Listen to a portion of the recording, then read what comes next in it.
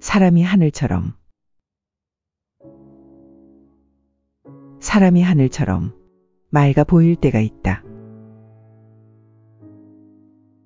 그때 나는 그 사람에게서 하늘 냄새를 맡는다.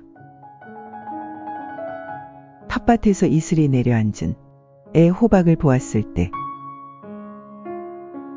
친구한테 먼저 따서 보내주고 싶은 생각이 들고 들길이나 산길을 거닐다가 청초하게 피어 있는 들꽃과 마주쳤을 때 그 아름다움의 설렘을 친구에게 먼저 전해주고 싶은 마음이 생긴다.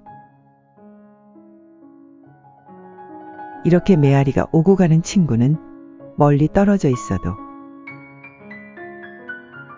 영혼의 그림자처럼 함께할 수 있어 좋은 것이다.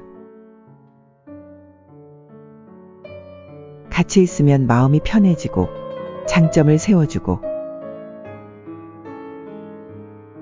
쓴소리로 나를 키워주는 친구는 큰 재산이라 할 수 있다.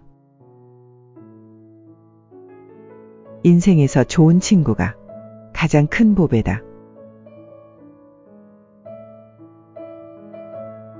물이 맑으면 달이 와서 쉬고 나무를 심으면 새가 날아와 둥지를 튼다.